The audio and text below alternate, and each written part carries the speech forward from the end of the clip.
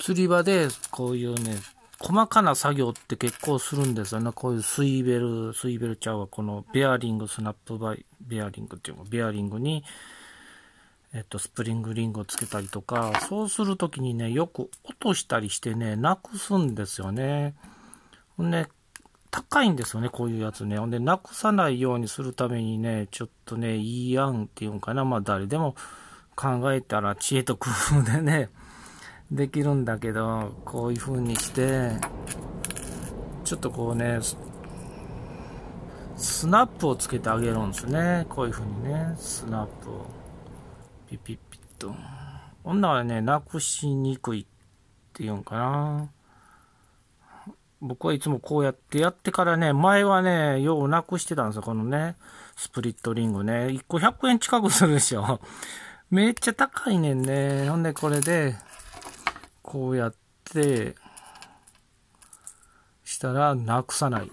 なくさないんだよね、これがね。これ、やりにくいな、画面を見ながらだとめっちゃ、こうやって広げて、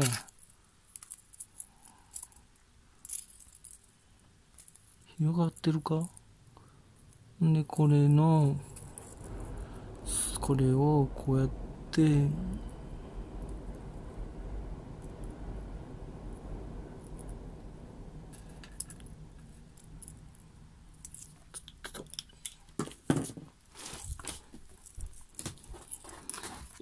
やりにく。画面見ながら画面に見えるようにというのは、なかなか難しいね。こうでしょで、このちっちゃなこっち側やね。ペアリングね。あり。そうやんな。こうやって落とすよな。めっちゃ何回もね。何回も落としてなんか知らんうちにどっかでなくすねんなよ。うん。こうだ。あ、これ角度ええんちゃうの？これ。こうやろ？ほら。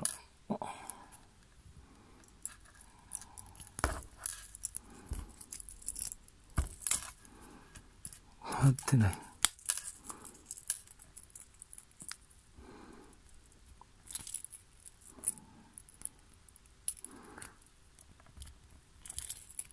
肩。あ、いけたいけた。ほら、いけた。ほら、いけた。ほんで、これを取って。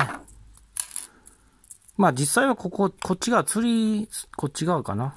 釣り糸やね。こっち側、釣り糸がね、もうすでに結んである。からね。は、こっち側にリーダーがあって、こっち側にジグと、で、このちっちゃい方に、あの、あれ、釣り針ですよね。釣り針がつくと。まあ、こっち側につける場合もあんねんけどね。ち側につけたりとかね、長さ調節は適当にしてください。まあこういう知恵ですね。なくさないように、こういうスナップを使ってくっつけて。あと輪ゴムでもいいかもしんないよ。簡単にね。輪ゴム。輪ゴムなんかでも取れるねんね。とやってる途中に。前よう輪ゴムでやった時は取れるから最近ここのスナップで使ってやってます。